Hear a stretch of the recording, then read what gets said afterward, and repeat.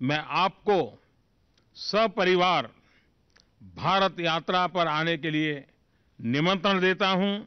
उम्मीद है कि आप मुझे भारत में अपने स्वागत सत्कार का अवसर प्रदान करेंगे।